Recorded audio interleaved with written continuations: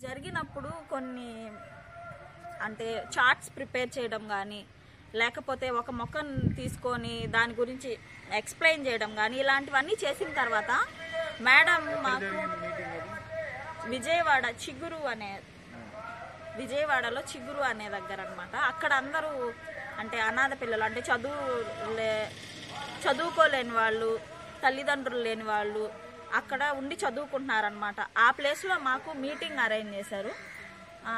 అక్కడ పవన్ సార్ అని రత్నం సార్ అని వీళ్ళందరూ వచ్చారనమాట సింధ్యా మేడం వీళ్ళందరూ మాకు మంచి విషయాలను చెప్పారనమాట తర్వాత టీడీహెచ్ దాంట్లో మెంబర్షిప్ని కూడా ఇచ్చారు నాకు తర్వాత వినోద్ అన్నకి. అంటే మెంబర్షిప్ స్టేట్ లెవెల్లో ఒక నెట్వర్క్ టీడీహెచ్ తరపున. ఆంధ్రప్రదేశ్ నుంచి మీరు ఇద్దరు ఎన్నికయ్యారా? ఆంధ్రప్రదేశ్ ఆ, నెల్లూరు డిస్టిక్ నుంచి మీరు ఇద్దరు. స్టేట్ లెవెల్లో నెట్వర్క్లో మీరు ఇద్దరు ఎన్నికయ్యారు. అవును. వెరీ గుడ్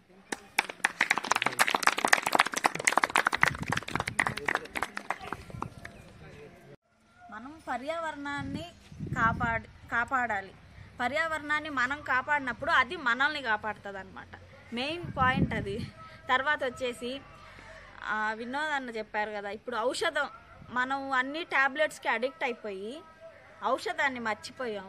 కానీ ఒక్కొక్క చెట్టులో ఎలాంటి ఔషధ గుణాలు ఉన్నాయో దానివల్ల మనకు ఎలాంటి ఆరోగ్యం అనేది చాలా మంచిగా ఉండడానికి మన పూర్వీకులు చెప్తూ ఉంటారు కదా మనకు. ఔషధ మొక్కలు ఇలా చేసుకోవాలి. ఇప్పుడు జ్వరం వచ్చినప్పుడు ఇలాంటి ఆకు వాడితే తగ్గుతుంది. జలుబు వచ్చినప్పుడు ఇలాంటి ఆకు వాడితే తగ్గిపోతుంది అని చెప్తారు కదా. మనం వాటిని చాలా కేర్లెస్గా తీసుకుంటాం. కానీ అది యూజ్ చేసిన తర్వాత దాని నుంచి వచ్చే బెనిఫిట్ ఏంటంటే మన ఆరోగ్యం బాగుండడం అన్నమాట. ఇలాంటి విషయాల గురించి మన మీటింగ్లో మాకు తెలియజేశారు. అంతే పర్యావరణం గురించి పూర్తిగా ఎక్స్ప్లెయిన్ చేశారు. పర్యావరణం అంటే చెట్లు ఎలా పెంచాలి? వాతావరణం అక్కడ మన ఊర్లో మరుగు గుంటలు కానీ కొంచెం గట్టిగా. వాటి గురించి పూర్తిగా అంటే సీడ్ బాల్స్ ఎలా తయారు చేసుకోవాలి? ఒక్కొక్క విత్తనం తీసుకొని ఒక పేడ తీసుకొని ఆ పేడలో విత్తనాలు కలిపి మనకి నచ్చిన ప్లేస్లో వేసుకుంటా రోడ్ల వైపు కానీ ఇళ్ళల్లో కానీ వేసుకుంటూ వెళ్ళినప్పుడు ఆ చెట్లు అనేది బాగా వస్తాయి అన్నమాట ఆ విధంగా వేయడం వల్ల మనకి చుట్టూ వాతావరణం బాగుంటుంది. పూర్తిగా మనకి ఎక్స్ప్లెయిన్ చేశారు Talk about the biodiversity walk. What did you learn?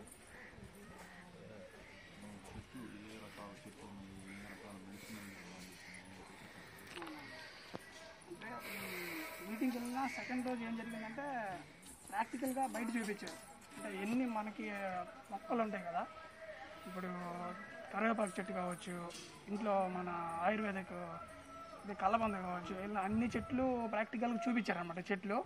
ఒక్కొక్క చెట్టు దేనికి ఉపయోగపడుతుంది?